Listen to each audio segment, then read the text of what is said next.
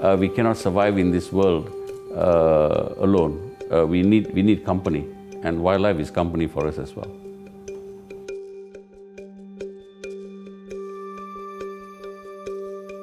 Well, you know, the, the tropical rainforest is not like any other rainforest. Yeah? Uh, tropical rainforest is very dense.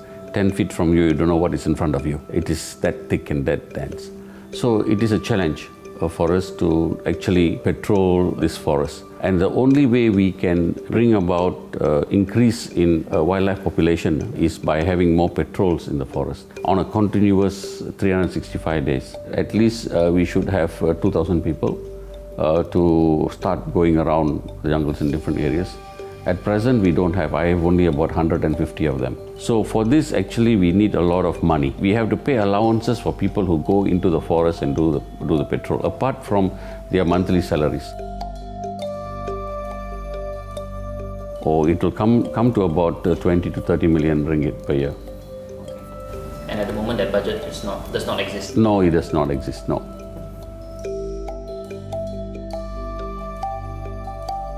The police are now coming in in a big way. The police is going to give us one whole regiment uh, in order to have people on the ground. These are really hardcore criminals. They know the terrain, they have done this before. Uh, and the wildlife in their country is no more because of what they have done. Now they are coming into our country in order to chase after our wildlife. Because there's a market, there's a demand. People are willing to pay certain exorbitant prices for these animal parts. So they take the risk of coming in with uh, visit visas and then they disappear in a forest for four to five months. They collect whatever they can and then they try and leave. The demand is coming from Hong Kong and China and Vietnam, these three countries. For all animal parts, just not for pangolin scales, uh, for tiger parts, uh, bear parts, uh, you name it.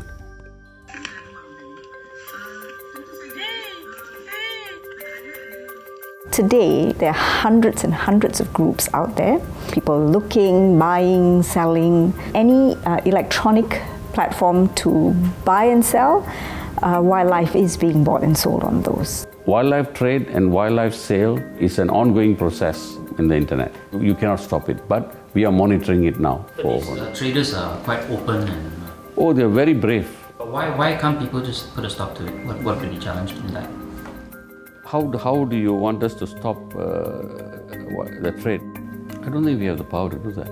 If I advertise something on the, on the, in, the, in the internet, uh, but there is no further uh, business sale or there's no other things I've done, it's just an advertisement on the, on the internet. So how do you stop that?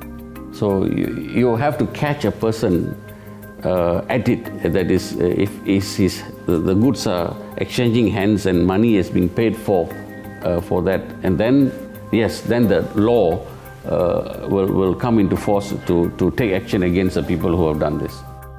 We have a unit now set up in our wildlife department. We call it cyber crimes, where people are monitoring the wildlife uh, species or parts that's being sold freely uh, online. And we are also uh, setting up stings, and uh, we have made some successful uh, ventures into this. Uh, and the department is new, but they are working hand in hand with the police as well in order to make sure that we will help curb this.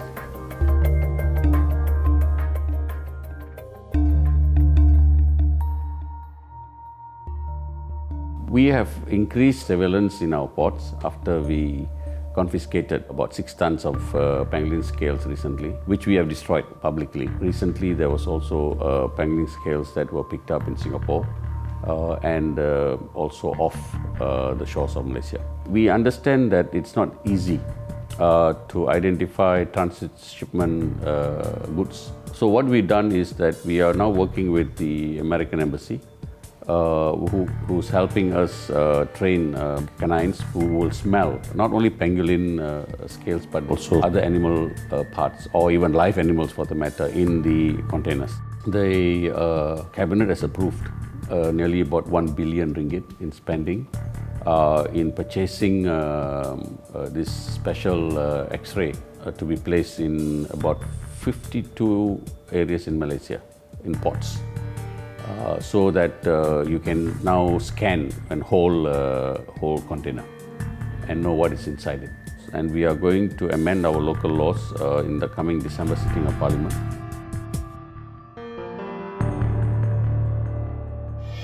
I'm setting a very high deterrent. If you're caught, uh, you are most probably fined up to a million ringgit, depending on what you have on your hands. You can go to prison for as long as 20 or 25 years.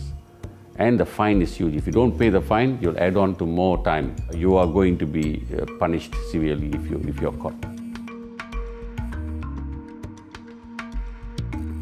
Education.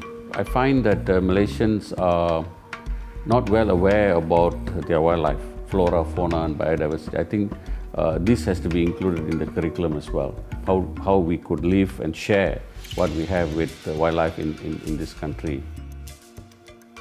Malaysia is uh, known as a mega diverse country in terms of biodiversity.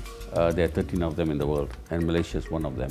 Uh, and this is something that we must preserve. So we must pay attention to the wildlife in this country because it is part of us. That this country has given us a lot, so much so that we should be able to play our part in order to preserve them as well.